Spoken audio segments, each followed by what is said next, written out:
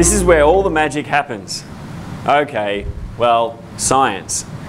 This is just one of the rooms that we perform speed breeding here at the University of Queensland.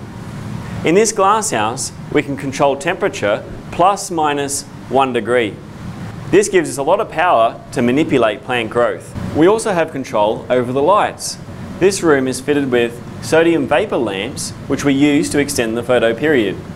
If we want to grow the plants super fast, the lights stay on 24 hours a day. In here, we have lots of different activities going on. These are our four plants, going through the process of single seed descent. In this system, we can grow wheat seed to seed in just six weeks. Any glasshouse can be converted for speed breeding.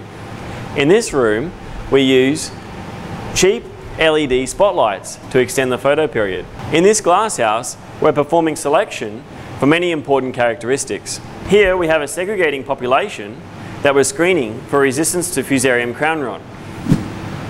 By integrating speed breeding and screening for rust resistance, we are able to identify adult plant resistance within a short space of time. And here we have fixed lines being characterised for yellow spot resistance.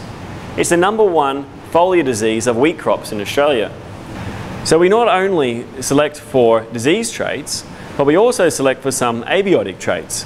We're selecting for narrow root growth angle, which enables the plants to access more water deep down in the soil profile. So there you have it. Speed breeding is a powerful tool for crop improvement. I hope you enjoyed the speedy tour of the speed breeding system here at the University of Queensland.